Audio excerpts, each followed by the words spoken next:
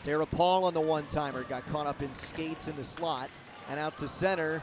This is a dangerous play. Here comes Anna Bargmann. Bargmann cutting in and scores!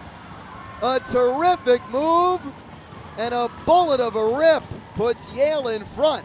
Yeah, Kay Monahan was coming back to try to fill in the gap here. Was a little bit out of position. You know, for uh, Maggie Johnson, which just kind of like lost his puck as he gets by her. Here coming in, Monahan on a kind of her back foot there and being able to go across the grain. Really impressive shot there.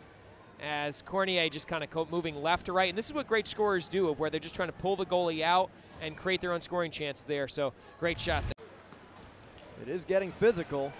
Paul, Fillier, knocked off her stick by D'Antonio. Here comes Hartje with Stainton. Two on one if they hurry. Hartje fires and scores!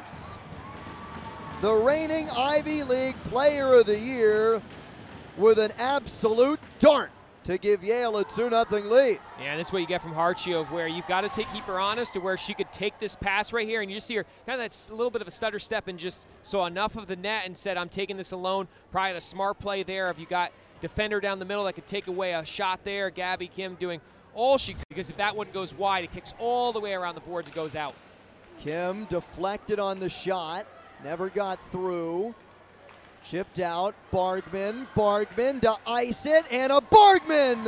And Yale with a 3 0 lead, a two goal night for Anna Bargmann, and that should ice it. Yeah, I mean, for this uh, Yale Bulls, Bulldog squad of where you see that, that top end talent, you have Anna Bargmann up there, you say, you know, coming out with uh, her junior year along with uh, Jordan Ray, sophomore, of just that second line scoring just is overtaking what the Tigers able to do. You know, Hartje carried the carried uh, much of the offense throughout this game of where she just is such a powerful player. Um, but for the Tigers, she's not able to respond and not able to